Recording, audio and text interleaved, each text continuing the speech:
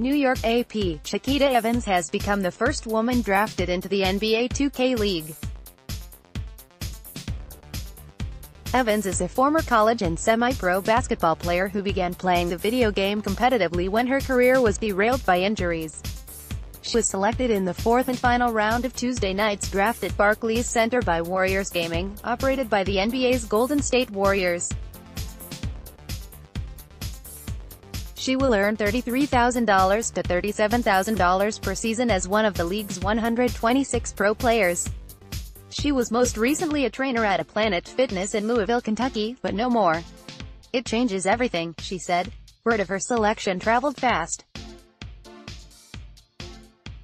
Warriors coach Steve Kerr was asked about it prior to a game against Boston and said, That's really cool that she's passionate and inspired and broke a barrier. Underscore underscore underscore follow Jake Seiner. https colon slash slash twitter.com slash Jake.